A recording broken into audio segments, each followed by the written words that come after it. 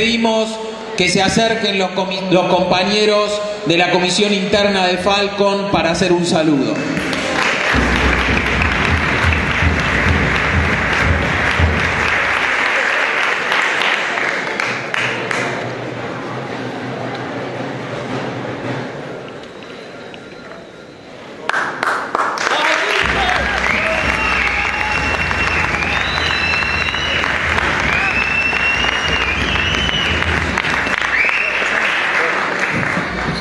¿Qué tal compañero?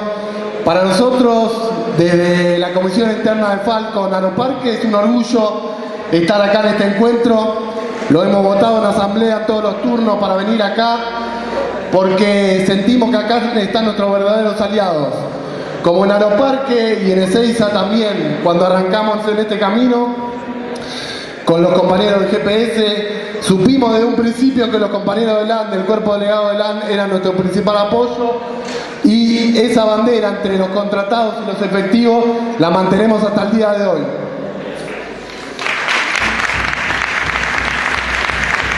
Bueno,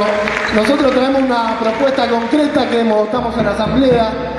que viene del 31 de enero pasado cuando el represor de Bernie vino al aeroparque con 700 gorras para impedir que salga a la luz el reclamo de los tercerizados, para impedir que en el reino de la cámpora donde abajo de los aviones de millones de, millones de dólares de Cristina y de Recalde estamos nosotros, junto a los compañeros de limpieza que sufrimos el frío, que subimos todos los días a los aviones pero no viajamos nunca en uno de ellos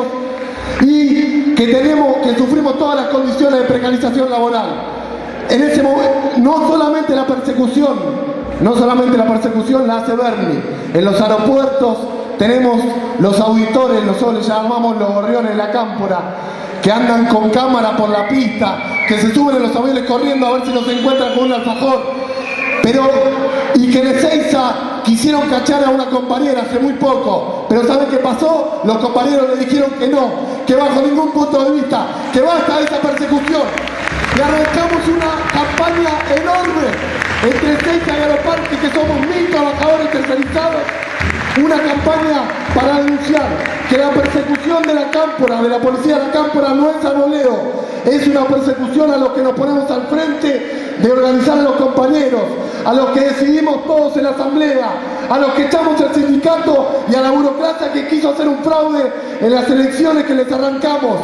A estos compañeros nos persiguen. Pero, pero acá venimos pero acá venimos con nuestra demanda,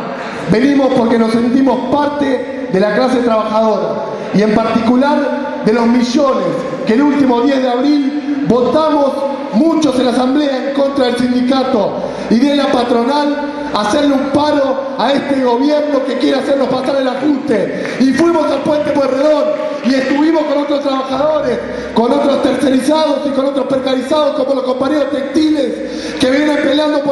de María y de todo, como los compañeros de Todol y de Telefónica que vienen de un gran triunfo, y como los compañeros de Garraham de limpieza que hace meses que sufren la persecución